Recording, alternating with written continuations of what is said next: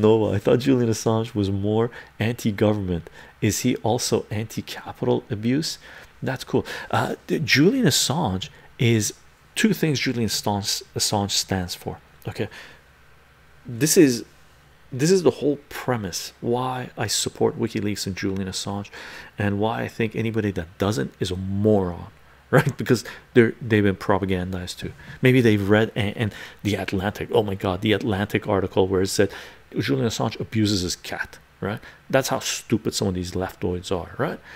But here is the the main thing I get from what Julian Assange represents and what WikiLeaks has been doing, right? Julian Assange, the mantra, the the foundation of Julian Assange's work is twofold. One is transparency of capitalist power. Second is accountability of capitalist power, right?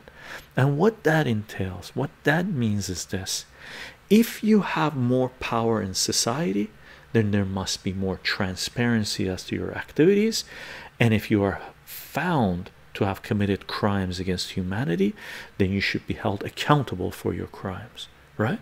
So, if you and me have zero power in our societies, so for example, if you want to do an example, right now I have more power than you watching, right? Majority of you watching because I'm doing the live stream, so I have more power than you, right?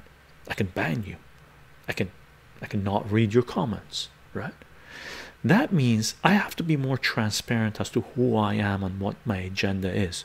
You do not, right? Because you don't hold as much power as I do. And if I've I've been found to be lying, cheating, taking kickbacks, promoting things, and saying that it's my I my ideas, then I should be held accountable for what I have done, right? That should be the foundation of our society.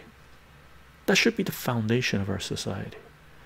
Transparency of capitalist power, accountability of capitalist power. That is the mantra of Julian Assange and WikiLeaks. Okay, right now we have the exact opposite of that in our societies. In the new world to come, and it is coming, right? The other shoe is about to drop. Be careful, right? those in power we want they want less accountability less transparency and they want to know everything there is to know about you and me that means we are slaves